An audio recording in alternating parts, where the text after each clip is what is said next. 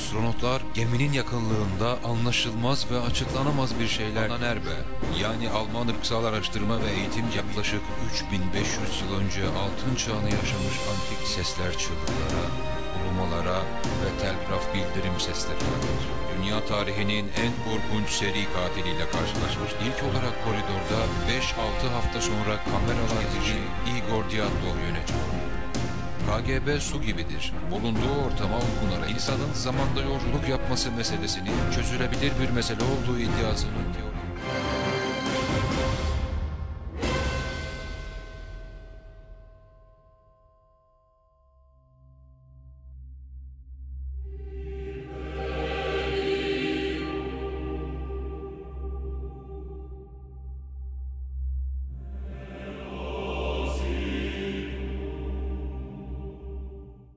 Bu soğuk coğrafyada metallerin yankılandığı bir bölge var. Arktik çemberin ötesindeki bu şehir sadece madenlerle değil, aynı zamanda buzlarla da çevrili. Norilsk sanayinin soğuk ve acımasız gerçekleriyle örülü, buz tutmuş bir hikayenin başladığı yerdir. İnsanın doğayla olan ilişkisini ve endüstriyel ilerlemenin bedelini sorgulayan bu çalışmamız, Norilsk'in soğuk yüzünün altında yatan insan hikayelerini anlatıyor.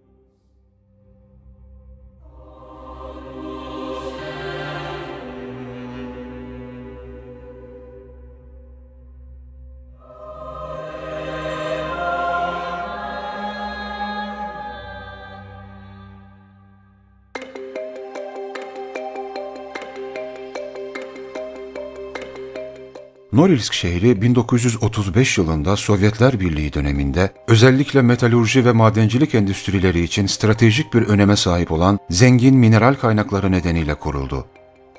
Şehrin kuruluşu bölgedeki değerli minerallerin çıkarılmasını ve kullanılmasını amaçlayan bir projenin parçası olarak gerçekleşti. Norilsk özellikle nikel, bakır, kobalt, paladyum ve platin gibi metallerin bol miktarda bulunduğu bir bölgede yer alır. Bu değerli kaynaklar Sovyetler Birliği'nin sanayileşme sürecinde ve İkinci Dünya Savaşı döneminde stratejik olarak büyük bir öneme sahipti. Şehir bu endüstrilerin çalışanları ve aileleri için konut, altyapı ve diğer sosyal hizmetlerin sunulduğu bir yerleşim alanı olarak hızla gelişti. Ancak bu faaliyetlerin çevresel etkileri de zamanla açıkça görüldü. Norilsk sanayi faaliyetlerinden kaynaklanan ciddi çevresel kirlilik sorunlarıyla mücadele etmek zorunda kaldı. Bu da zaman içinde çevre koruma önlemlerinin artırılmasına ve daha sürdürülebilir uygulamalara geçiş yapılmasına yol açtı. Nüfusu 174.453 kişiden fazladır. Bu şehri Krasnoyarsk'tan sonra bölgenin ikinci en kalabalık şehri yapar. 2016'dan bu yana Norilsk'teki nüfus istikrarlı bir şekilde artmaktadır. 2017 yılından bu yana ilk kez bir göç dalgası gözlemlendi. Birinci Petro'nun kuzey kıyıları boyunca bir deniz yolu aramak için Büyük Kuzey Seferini yaptığında, müfrezelerinden birinin başkanı Hariton Laptev tarafından yürütülen Taymır kıyılarının envanterinin materyallerinde Sibirya, Norilskaya Nehri, Norilsk Taş Sırtı ve Norilsk kışlakları dikkat çekmektedir. Şehir de adını buradaki dağlardan ve nehirlerden, onlar ise balıkçıların balık yakalamak için kullandıkları Norilo adlandırılan bir fileden alır. Taymır Yarımadası'nın donmuş tundurasında bir endüstri merkezi kurma fikri gerçekten de dikkat çekiciydi. Dönemin Sovyet lideri Joseph Stalin, Sibirya'nın gelişimini ve 1920'lerde keşfedilen maden yataklarını milli bir öncelik olarak görmekteydi. Ayrıca neredeyse sonsuz sayıda mahkumu kullanabilirdi. Gulag'daki mahkumlar. Norilsk çalışma kampının 1955'te kapatılmasına kadar geçen 20 yıl boyunca yaklaşık 300 bin mahkum buradaki çalışma kampları olan Norillag'dan geçti ve bunların üçte biri siyasi mahkumlardı. En az 16 bin mahkum öldü. Bazıları idam edildi. Ancak birçoğu yetersiz beslenme, hastalık ve zorlu koşullar nedeniyle hayatını kaybetti. Buradaki yatakları incelemek için ilk sefer 1920'de Nikolay Urvantsev tarafından yapıldı. 1921 yılında 2. Norilsk seferi sırasında Rudnaya Dağı eteklerinde Urvantsev grubunun jeologları ilk Norilsk ahşap evini inşa ettiler. 1939'da burası bir işçi köyü, 1953'te ise bir şehir oldu.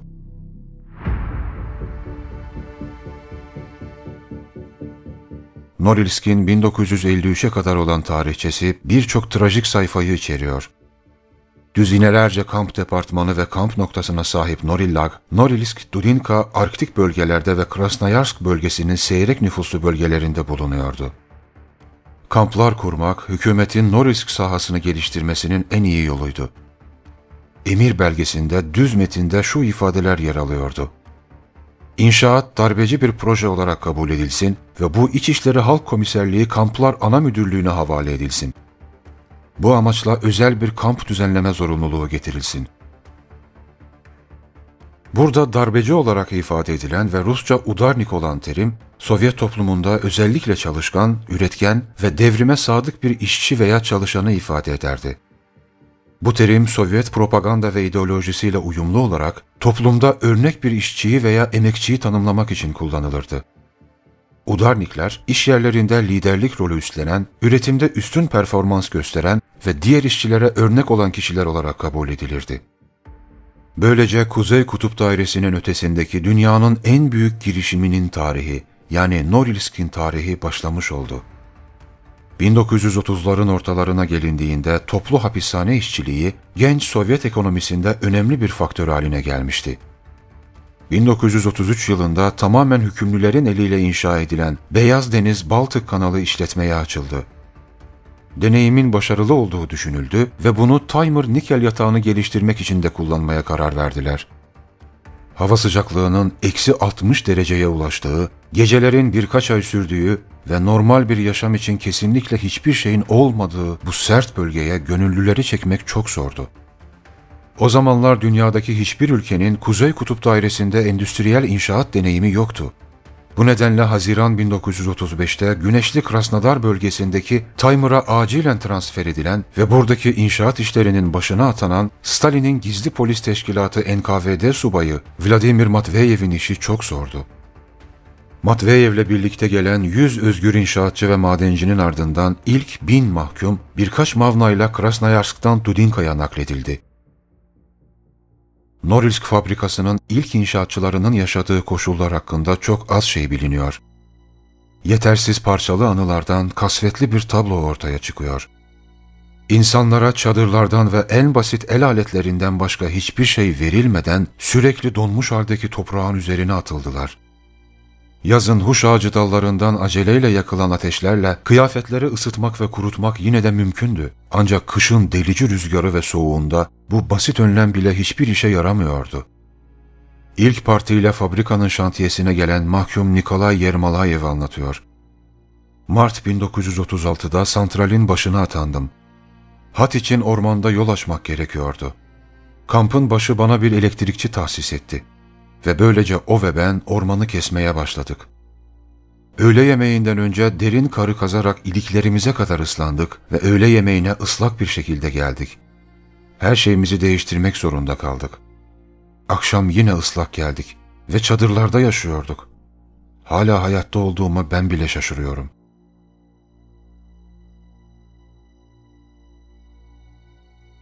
NKVD'nin resmi raporlarına göre 1935 yılı boyunca kamplarda hiçbir ölüm olmadı. 1936'da ise yalnızca 4 kişi hayatını kaybetti. Ancak araştırmacılar bu raporlara pek fazla güvenmiyorlar. Çünkü yine aynı Yermalayev'in anılarına göre daha önce 300 kişilik bir grup Kara Denizi, Piasina Nehri ve Piasino Gölü üzerinden Yenisey boyunca Valek'e doğru yola çıkmıştı. Ancak Yenisey körfezinde fırtınaya yakalandılar ve mavnaları parçalandı. 300 kişilik bu grup kendini buzlu suyun içinde buldu. Kıyıya çıkanlar toparlandı ancak konvoy şefi bundan dolayı kurşuna dizileceğini düşünerek intihar etti. Bu 300 mahkum bu buz banyosundan sonra ilk kışta ölmeye başladılar. Her üç kampta da mezarlıklar ortaya çıktı. 1935 Eylül'ünde ilk sivil ve mahkum grubu çabalarıyla bir radyo istasyonu ve permafrost yani donmuş toprak koşullarında inşaat olanaklarını incelemek amacıyla bir istasyon inşa edildi. Aynı zamanda tek odalı bir ilkokul açıldı. Ancak Aralık ayına gelindiğinde onaylanmış çalışma planının yalnızca yarısı tamamlanmıştı. Norilsk İnşaat Birimi Norilstroy'un 1936 tarihli raporuna göre demiryolu inşasını içeren ana görevleri gerçekleştirmeye başlamışlardı.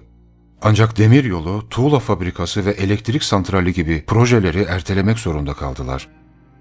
Ayrıca maliye taşımları milyonlarca rubleye ulaştı. Matveyev'in raporunda başarısızlıkların nedenleri ayrıntılı bir şekilde açıklanmıştı. 1936 sonbaharında Dudinka'dan Karadeniz'ine giden inşaat malzemelerini taşıyan bir karavan zamanında ulaşamadığı için kargo kış için Piasino Gölü yakınlarında bırakılmıştı. Ancak gelecekteki tesisin inşaat sahasındaki durum, Norilsk İnşaat ve Ceza Kampları yöneticilerinin rapora eklediği toplantı tutanaklarında en iyi şekilde gösterilmiştir. 1935 yılında genel olarak maddi kaynak eksikliği nedeniyle az sayıda insan işin konuşlandırılmasına hazırlanmak üzere gelişmemiş tundraya gönderildi. Bu birlik yeni zor tundra koşullarına hakim olabilmek için büyük zaman ve enerji kayıplarıyla dolu bir dizi hazırlık çalışması yapmak zorunda kaldı.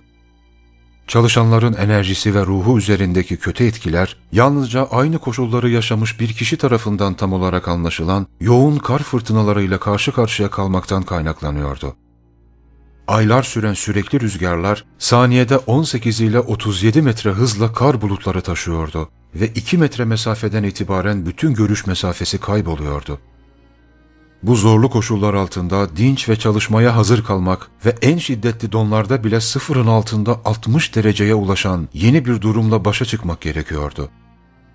1936'da Norilsk inşaat işçileri Dudinka'dan Norilsk'a kadar traktör ve atlı yolunun döşenmesi için ilk çalışmaları gerçekleştirmek zorunda kaldılar. Bu koşullar altında insanların tundraya dağılması, yeni bölgelere yerleşme, iş gücü alımı, malzeme rezervi oluşturma ve iş yerini donatma gibi ilk hazırlıkları yapmak zorunlu hale geldi. Ancak bu açıklamalar NKVD liderliği üzerinde fazla etkili olmadı. Nisan 1938'de Vladimir Matveyev görevden alındı ve iki hafta sonra tutuklandı mal varlığına el konuldu ve kamplarda 15 yıl hapis cezasına çarptırıldı. Sovyet Timer gazetesi oradaki herkesi damgaladı. Halk düşmanları Timer'ın zenginliğini halktan gizlemek için ülkeye nikel vermemeye çalıştı. Demiryolu inşaatına on milyonlarca ruble gömen halk düşmanları. Daha önce karşı devrim davalarında yargılanan bu alçağa kim yataklık yaptı? Bu suçlu çetesi kendisine verdiği isimle Timer Prensi'nin çürümüş Kara Matveyev'in koruması altındaydı.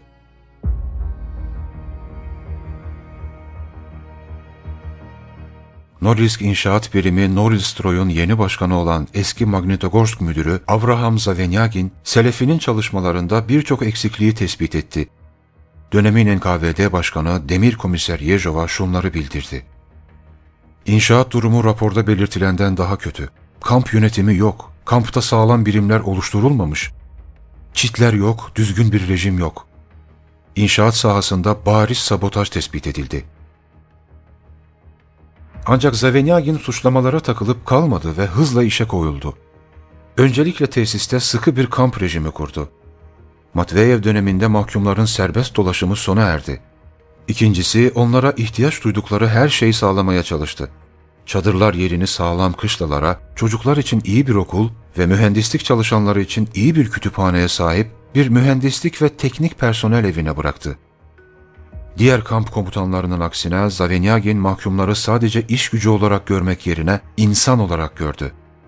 Örneğin kamp sistemi Norillak'ta planlanan hedeflerine ulaşıldığında günlük ekmek normu 1 kilogramı aştı. Arama ekiplerine yoğunlaştırılmış süt ve çikolata dağıtıldı. Ancak asıl önemli olan Norilsk fabrikasının sadece metalurjik yarı mamül bir ürün olan nikel üretimiyle sınırlı kalmaması, tam döngülü bir üretim tesisi haline gelmesini sağlayan kişinin Zavenyagin olmasıydı. Bu karar Kuzey Kutup Dairesi'nin en büyük şehri olan Norilsk'in geleceğini belirledi. Sonuç olarak ticari nikel üretimi için elektrot ve anot atölyelerine, güçlü enerji santrallerine, yüksek teknolojili bir üretime olanak tanıyan tesislere ihtiyaç vardı. Bu tesislerde çalışacak en üst düzeydeki uzmanlar için iyi yaşam koşullarına ihtiyaç duyuluyordu. İyi apartmanlar, okullar, hatta tiyatrolar. Bütün bunlar Norilsk'te Zavenyagin'den yıllar sonra ortaya çıktı. Ancak büyük inşaatı başlatan oydu. 1939'da iş gücü sıkıntısı sorunu nihayet çözüldü. Dağılmış Sloveski kampındaki mahkumların çoğu yaklaşık 10 bin kişi buraya nakledildi. Çalışmalar yeniden canlandı ve İkinci Dünya Savaşı arifesinde Norilsk fabrikası, küçük bir metalurji tesisi, birkaç enerji santrali, bir havaalanı ve bir demir yolu içeren devasa bir komplekse dönüştü. Norilsk adı verilen kamp sistemi de genişledi. Artık 34 birim ve 10 kamp noktasından oluşuyordu. Norilsk, Rus Ortodoks Kilisesi'nin Norilsk Piskoposluğu'nun merkezi olarak önemli bir rol oynamaktadır. Şehir 2. Dünya Savaşı'nda gösterilen özveri ve emek kahramanlıkları nedeniyle Rusya Federasyonu tarafından Emek ve Cesaret Şehri Fahri ünvanıyla ödüllendirildi.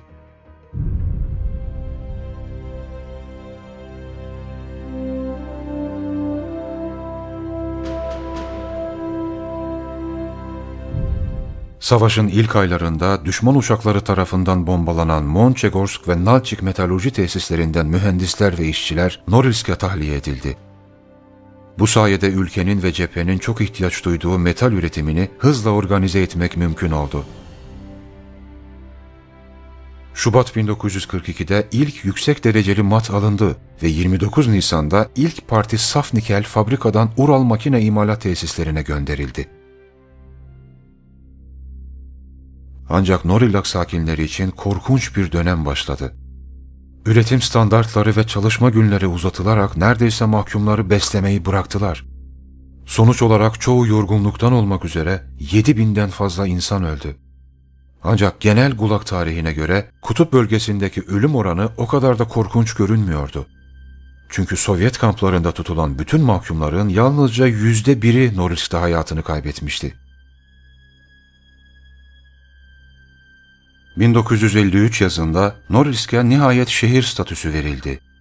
Ancak bunun öncesinde kamp ve fabrika tarihindeki en trajik olaylardan biri olan ünlü mahkum ayaklanması yaşandı.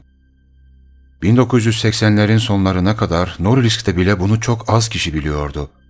Bu nedenle olayların koşulları hala belirsiz. Bir versiyona göre öfke 1953 baharında Lavrenti Beria tarafından açıklanan tecrübeli suçluların serbest bırakıldığı ancak siyasi mahkumların hapiste tutulduğu garip bir aftan kaynaklanıyordu. Ne olursa olsun Gorlag'da başlayan ayaklanma, gardiyanları ve idareyi etkisiz hale getiren, kışlalara siyah bayraklar asan ve ülkenin liderliğine yönelik hükümetin kaldırılması talepleriyle çağrıda bulunan yaklaşık 30 bin mahkumu içeriyordu. Krasnoyarsk'tan özel olarak getirilen İçişleri Bakanlığı'nın iki alayından askerler ve silahlı komsomol üyeleri 10 kamyonla bölgeye girdi. Ateş açarak en aktif mahkumları öldürdüler. Sonuç olarak yaklaşık 100 kişi öldürüldü. Geri kalanı ise ek cezalarla diğer hapishanelere dağıtıldı. Ülke ve Norilsk için dönüm noktası 1953'te Stalin'in ölümü ve siyasi mahkumların ayaklanmasının acımasızca bastırılmasının ardından Gulag sistemi çatladı. Bu Norilsk kamplarının da sonunun başlangıcıydı. Sovyetler Birliği İçişleri Bakanı'nın 22 Ağustos 1956 tarihli emriyle Norilsk kampı tasfiye edildi. Hayatta kalanların çoğu memleketlerine döndü. Ancak birçoğu Norilsk'te yaşamak ve çalışmak için kaldı. Onlar için bu şehir ikinci bir ev haline geldi. Bu insanlar büyük ölçüde gelecekteki şehrin görünümünü de şekillendirdi. 1953'e gelindiğinde Norilsk'te gerekli tüm kentsel altyapı sistemleri zaten inşa edilmişti. Hastaneler, okullar, stadyum, kulüpler ve sinema. O dönemlerde kentin nüfusu 77 bin kişiydi. Bunların 68 bini Norillag mahkumlarıydı. 1953'ten başlayarak Norilsk yetkilileri mümkün olan en kısa sürede inanılmazı başardı. Bir kamp yerleşiminden Rus Kuzey Kutbu'nun ana şehri inşa edildi. Sovyetler Birliği'nin her yerinden genç ve yetenekli uzmanlar buraya geldi. Kutup mucizesini gerçekleştirdiler. Evlendiler, çocuk yetiştirdiler ve Norilsk sakinleri olduklarından gurur duydular.'' 1955'te şehrin ve fabrikanın tarihinde yeni bir aşama başladı. Sovyet hükümeti komsomol üyelerine çağrıda bulundu. Gelin ve uzak kuzeyi keşfedin. Yakın zamana kadar kapalı olan Norilsk birkaç ay içinde genç kahkahaları ve şarkılarla doldu. Burada neredeyse her gün düğünler yapılıyordu. Hemen ertesi yıl 1956'da Norilak tamamen dağıtıldı. Az önce de söylediğimiz gibi 20 yılı aşkın bir süre içinde yaklaşık 300 bin mahkum Norillak'tan geçti. Bunların esası olmasa da önemli bir kısmı kötü şöhretli 58. madde yani karşı devrimci faaliyetler kapsamında hüküm giymiş siyasi mahkumlardı. Gorlak özellikle siyasi kişiler için organize edilmişti. Aralarında gerçekten de harika insanlar vardı. Tutuklanmasından önce bir rasyonalistler ve mucitler çemberine liderlik eden demiryolu mühendisi Mihail Potapov, esaret altındayken olağanüstü yaratıcı yetenekler gösterdi demir yollarını ve karayollarını kar birikintilerinden korumak için erken tahliye ve büyük baba adlı etkili bir sistem geliştirdi. Nikolay Gumilyov ve Anna Akhmatova'nın oğlu seçkin tarihçi Lev Gumilyov, karşı devrimci propaganda suçlamasıyla Norillak'ta 5 yıl geçirdi. Çalışmasını bu gibi durumlarda bir insanın sahip olabileceği maksimum iyimserlikle tanımladı. Burası bize keyifli bir barınak gibi geldi. Çünkü eksi 4 derece sabit bir sıcaklığa sahipti.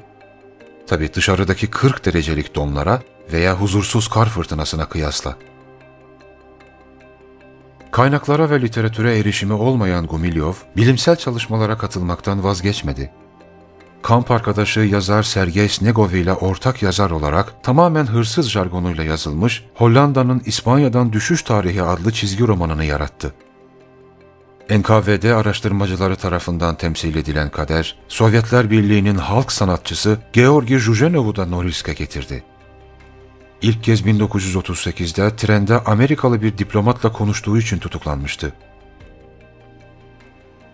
Norilsk'in nüfusunun etnik yapısı oldukça çeşitlidir.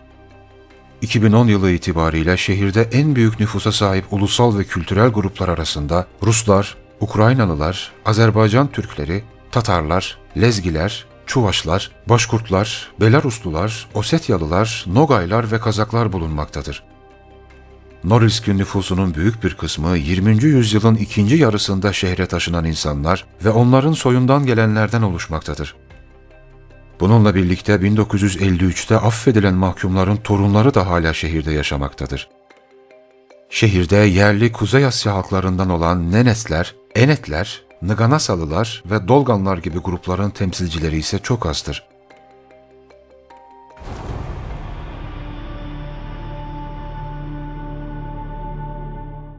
Norilsk'te çevre kirliliği ve geyiklerin yok olması uzaydan görülebilecek düzeyde.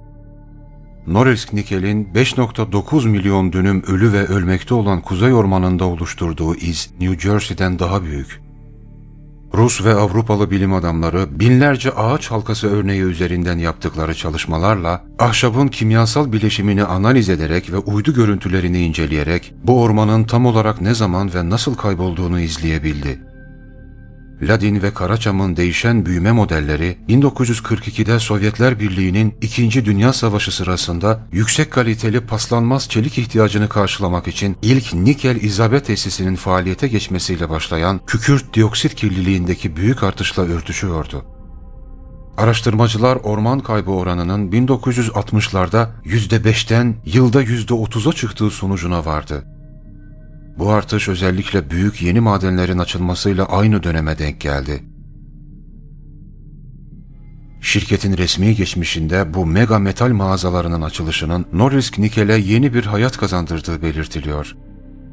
Norilsk'in doğusundaki 64 kilometrelik yarı çap içindeki bütün karaçamlar 1980'lerin başında ölmüştü. Uydu cihazları hiçbir diğer insan yapısının ne enerji santrali, ne petrol sahası, ne de başka bir metalurji kompleksinin bu kadar büyük miktarlarda kükürt dioksit emisyonu üretmediğini gösteriyor. NASA ve Environment Canada'dan bilim adamları tarafından yürütülen bir izleme projesine göre Norilsk'in kükürt emisyonları son 16 yılda ortalama 1.9 milyon ton kükürt diokside ulaştı. Bu Rusya'daki kükürt kirliliğinin yarısından fazlasına ve Amerika Birleşik Devletleri'ndeki sanayi ve araçlardan kaynaklanan tüm yıllık kükürt emisyonlarına eşit. Ve tamamı Eugene, Oregon şehri büyüklüğünde bir alanı kapsıyor. Kaynak Bilimi ve Çevre Yönetimi Bölümü Başkanı Alexander Savchenko iklim değişiklikleri başladı diyor. Savchenko ve araştırma ekibi Ren geyiğinin nerede ve neden hareket ettiğinin daha iyi anlaşılması amacıyla Timor Yarımadası'nın tamamını dolaşarak sürüleri aradı. Ağustos ayında Norilsk'in yaklaşık 370 mil menzili Katanga Nehri boyunca 70 bin geyiğin göçünü izlediler. Ancak bilim insanları trajik bir olaya da tanık oldular. Nehir kıyısında düzinelerce geyik ölüsü bulunuyordu. Savchenko'nun ekibi ölümlerin o yaz yaşanan rekor sıcaklık ve kuraklık döneminde Rusya'nın en büyük bölgesinde olan Yakutya'yı kasıp kavuran eşi benzeri görünmemiş orman yangınlarından kaynaklandığını tespit etti.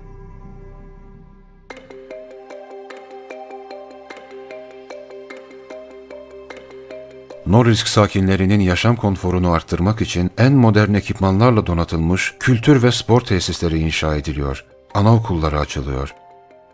Yalnızca 2013 yılında Norilsk'te 3 yeni okul öncesi kurumu açıldı. 1996 yılında en kuzeydeki Ortodoks Kilisesi hüzünlenen herkesin sevinci inşa edildi.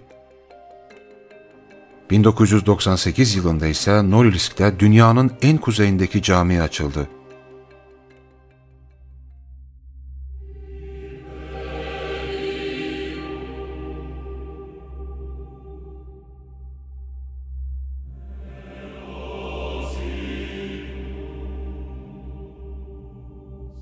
Burası şehirdeki bir mezarlık.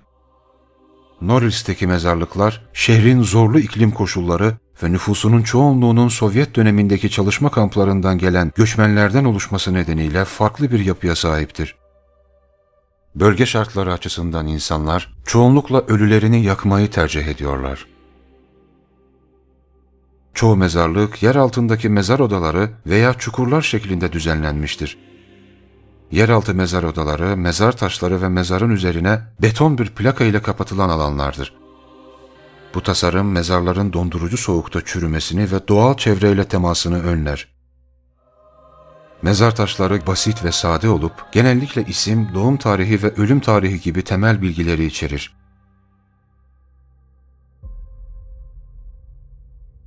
Burası sadece bir harita üzerinde değil, insan ruhunda da iz bırakan bir yer.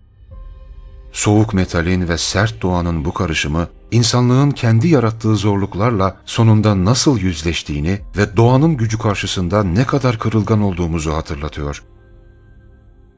Sonuç olarak Norilsk, insanlığın doğayla uyum içinde yaşama arzusunu ve gelecek nesillere temiz ve sağlıklı bir gezegen bırakma sorumluluğunu yücelten bir mesaj taşır. Bu şehir doğayı korumanın ne kadar önemli olduğunu hatırlatır.